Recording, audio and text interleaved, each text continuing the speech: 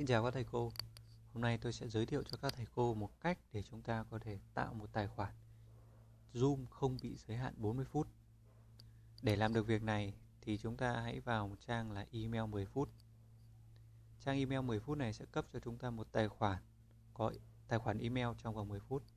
Và chú ý, nếu chúng ta không thấy đuôi ZZRGG thì chúng ta hãy lấy một email khác hãy ấn tới khi nào nó ra cái địa chỉ này. Bởi vì tôi đã thử một vài các cái địa chỉ khác thì nó sẽ không được. Có cái đuôi ZZRGG này thì sẽ đăng ký được. Một số đuôi khác có thể được, có thể không. Nhưng mà cái đuôi này là tôi đã thấy là lập được nhiều tài khoản rồi. Chúng ta hãy sao chép tài khoản email này. Trước tiên là hãy sao chép vào một file Word để chúng ta không bị quên cái tên email. Sau đó chúng ta hãy đăng ký như bình thường với Zoom. Và chú ý,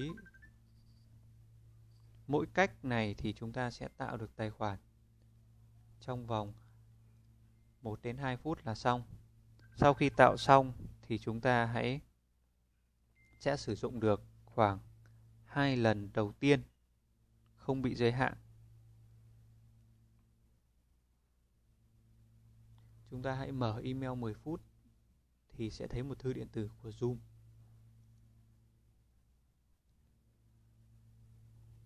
Chúng ta xuống dưới chúng ta chọn account và chúng ta hãy đăng ký tài khoản.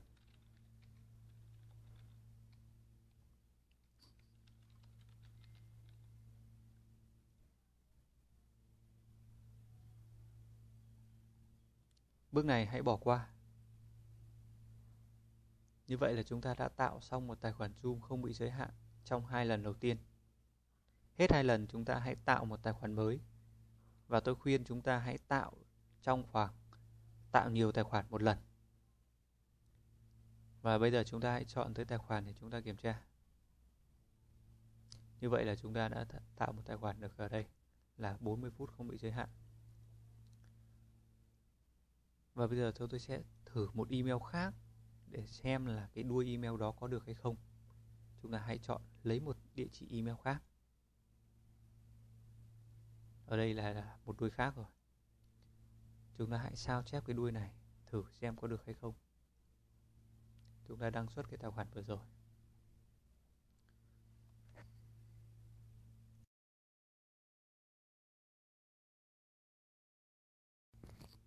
Và chúng ta hãy chọn đăng ký chúng ta dán vào đây và ấn sinh up. Chúng ta quay trở lại email 10 phút. Thì đã thấy một tài khoản, một email của Zoom gửi tới. Và chúng ta lại chọn Active. Chúng ta hãy đăng ký.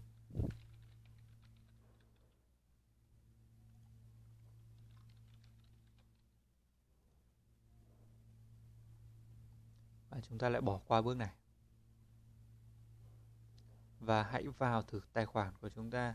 Bây giờ tôi sẽ vào thử tài khoản kiểm tra xem nó có được hay không. Như vậy là nó thông báo một cái thông báo khác. Không thấy thông báo giới hạn 40 phút. Thì hiện tại do là chưa có đủ người thử kiểm tra tài khoản này, nên là tôi cũng không dám chắc cái đuôi tài khoản liệu có được hay không. Chúng ta hãy chú ý cái đuôi tài khoản.